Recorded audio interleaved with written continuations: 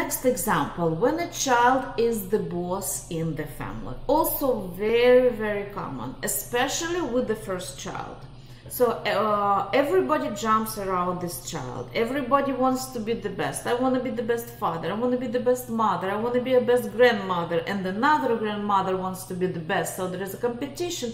Everybody are doing everything for this child.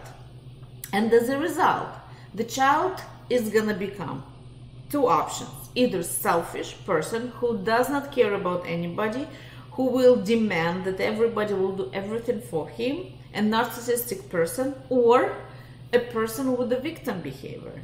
A child who will think that okay so uh, all those people dedicated their lives for me so now i have to fulfill their expectations. I have to follow their desires. I have to follow their dreams. I have to be as they want me, as they want to see me. So, and the child cannot live his own life. A child has to follow expectations, and mother, a father, and grandmother, they all have different expectations. And somehow the child has to fulfill expectation of everybody in the family.